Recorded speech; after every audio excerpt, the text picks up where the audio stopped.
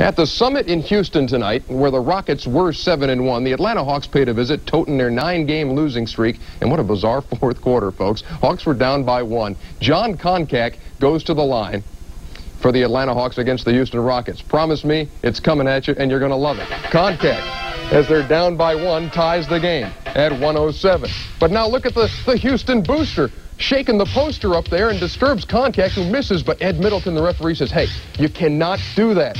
Booster, put the thing down, put it away. He's getting another foul shot. He can't believe it, but Koncak takes advantage of it. And he's going to rattle this thing around, and the Hawks have got a one-point lead.